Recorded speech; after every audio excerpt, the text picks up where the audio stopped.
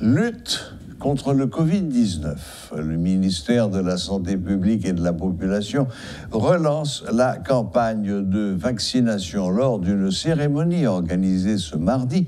Les autorités sanitaires ont exprimé leurs préoccupations par rapport à la flambée des cas de la maladie recensés ces derniers jours.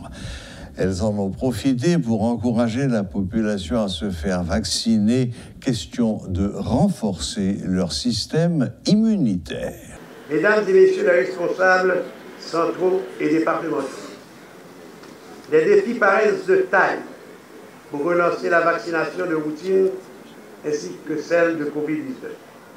Mais je compte déjà sur votre ferme engagement pour les réaliser. J'en veux pour preuve l'expérience récente de la campagne de vaccination contre Covid-19 dans le nord et le nord-est, où environ 60 000 personnes ont pu être vaccinées en 15 jours. Sachez utiliser à bon escient vos nombreux atouts. Déjà, la, la logistique de vaccination se renforce.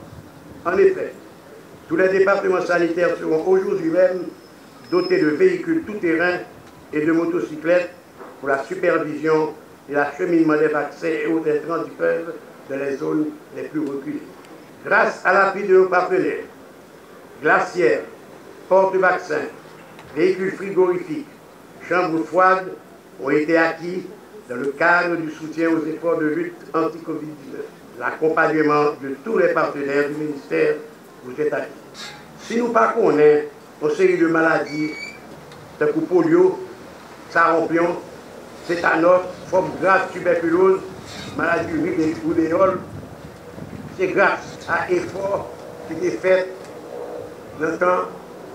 depuis un temps reculé par les techniciens en santé publique qui vaccinaient tout le monde. Je parlé avec papa et maman Timoun. Maladie ça, nous pas en analyse. Mais attention, dans l'autre pays, maladie ça existe. Bon, oui, pour nous, on doit arrêter de retourner dans le pays. Qui ça qui a protégé nous? C'est vaccination. Alors, nous faisons appel à tous les parents, à tous les jeunes, pour comprendre la situation et pour le servir tout de propagandistes pour exciter, encourager tout le monde à le vacciner.